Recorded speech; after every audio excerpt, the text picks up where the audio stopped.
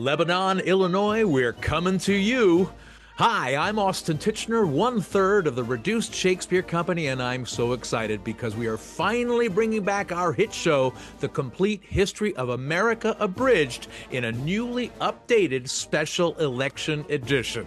Uh, What are we going to do? They keep writing American history, so we have to keep reducing it.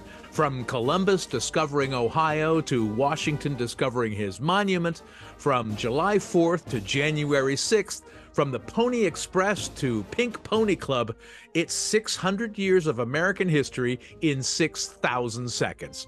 The New York Times calls us intellectual vaudeville, and the Boston Herald says the complete history of America abridged is what The Daily Show might be like if it were hosted by the Marx Brothers.